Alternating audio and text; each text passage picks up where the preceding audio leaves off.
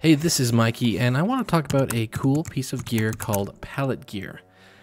Now, I've been using this Palette Gear for the last few weeks, and I wanted to talk to you about um, how I use it and some of the things that I have it set up for, specifically for video editing with Premiere Pro and After Effects. What Palette Gear is, is it's a module control system um, that you can magnet together. These are very cool, very modern feel, nice clicky buttons, and uh, beautiful sliders. And as you can see, they're all made out of aluminum and they just magnet and snap together. Now, what I've been using is, of course, this core product. That's the brain that makes everything work, and then everything magnets to it. I've got two buttons, two dials, and two sliders. Now, is this the ideal setup for me? Uh, not quite. I actually wish I had another couple of buttons. Um, I really find the buttons are my favorite. Um, they are the most useful. You can do the most with them, I believe. So as you browse through this website, you can see they've got different uh, kits, starter kit, expert, and then you can also do the add-ons and go in and just add on. So if I wanted to get a couple more buttons, I can easily, and I don't have to uh, get a whole kit. Now let me show you the Palette Gear program. Now you can download this program, but you really can't see what it does unless you have the hardware because it needs to be plugged in for in order for it to work. So what I have here is I have a After Effects profile and a Premiere profile, and you can see that as I take these and take them off and put them back on again, it adjusts what the way the profile looks. This is, and it shows exactly the way I have it look here as I do on the computer. And as I zoom in close, you're going to see I switch from profile to profile. It changes the logo that's on the little screen. Pretty cool. And you can also see the colors around changing. I can change these colors. You can see right here, I've got that set to red. Well, if I went in there and changed it to purple, well then that's going to change the light. So let me talk about how I have them set up. And again, I said I like the buttons the best. Um, then I like the dials and the faders I don't like as much just because they don't uh, work well with what I'm doing with video. Um, that's more of an audio thing. So let's start with Premiere Pro. So as I come into Premiere Pro, you can see first off the bat that you can't use the faders at all they don't work with Premiere. They don't have any functions for them available yet, so that's kind of a bummer. So right now I've got two of these modules that just doesn't work with Premiere Pro. But what I have now is some of just my most used things. So Control B is what I use to disable clips. And what I did is I set that up as a keyboard shortcut. But there's also other things available here. So I can start and stop playback, which is just your spacebar, render options, set endpoints, undo, redo, razor all tracks, and then you can set up any keyboard shortcut or palette functions. And what this palette functions is, is I can set this up to go to the next tab. So these are the tabs up here. So if I have more than one profile for, say, Premiere, I can switch between them. But I go into keyboard shortcut, and then I can just set what shortcut I want. Um, for this one, again, I want Control B, because that's the shortcut I have set up to disable tracks or enable tracks, and I use that a lot when I'm editing. Click done, and there we go. And then this next one, I did the same thing, keyboard shortcut for Command L, which is what I use to unlink tracks. Um, so if I want to unlink the video and the audio together, um, that's what I did.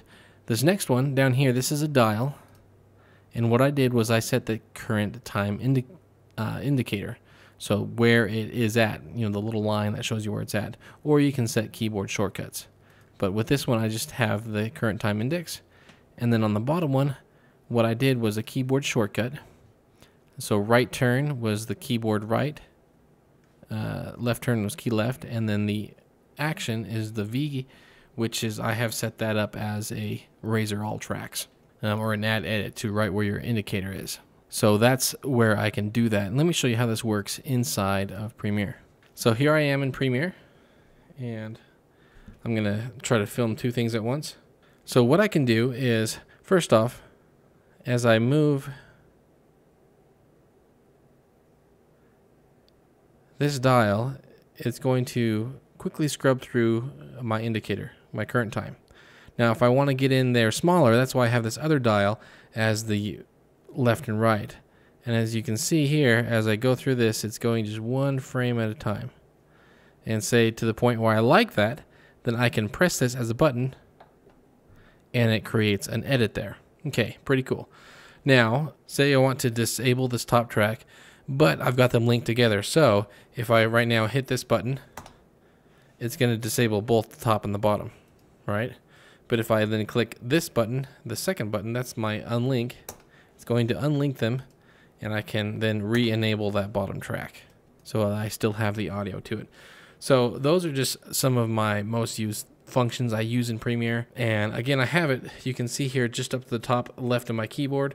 So, because I use keyboard shortcuts a lot, and then this just adds a little bit more to it. Um, so I can have my hand here, use the keyboard, do a little bit more here, and then my right hand is over on my mouse. Very common setup. Um, but having having this palette gear here, here just adds a little bit more to it. Let's head over to After Effects.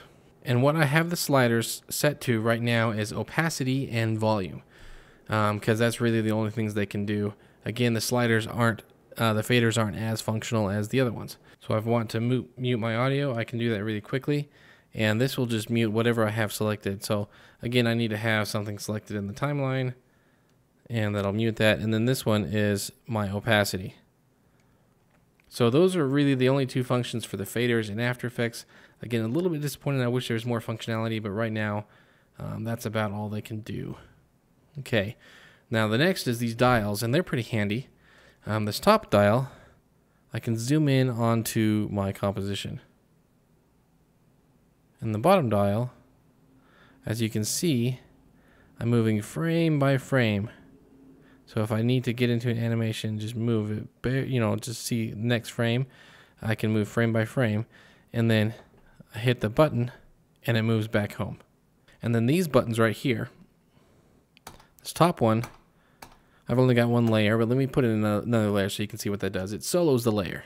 So as I have that bottom layer selected, solo it, or I can select that top layer, solo it. And then the second button, I have it is, is it'll create keyframes, and it'll create a keyframe on whatever you're on. So if I just grab this, move the position, I can create keyframes. Let me uh, show my keyframes down here. Move it, creates a keyframe. Now if I were to rotate this, see now my rotation is selected. And then when I hit this button, creates a keyframe. So that's how I have it set up for After Effects. Now the question is, is, is this something that is right for you? I kind of showed you how I have it set up and I think this is a really good deal. There's lots of control surfaces out there that cost hundreds and hundreds of dollars, and this is quite a uh, good deal. And plus, you can just because you can build up however you want it um, by adding on the extra modules. You know, for me, it's it's a pretty good deal. Now the now the question you need to ask yourself is: This something you're going to be using, or are you comfortable enough using keyboard shortcuts? And if this is something you feel like would really increase your workflow and your productivity, then I would say go do it. Go check out Palette Gear. Again, they're good prices. I've had a lot of fun using them, and it's really nice to have that tactile feedback to be able to actually hit a button, to move a fader, to twist a dial, and that's something you don't get with just a mouse and a keyboard. So, thank you so much for watching. If you have any questions, again, put them down in the comments below. If they're specifically about Palette Gear, please let me know. Um, if you say, hey, can it do this? Um, you know, I can look into it and see how I can make it work with um, After Effects Premiere. So thank you so much for watching, and definitely go check out Palette Gear over at their website. There's a link right here in the description. Thank you for watching, and we'll see you next time.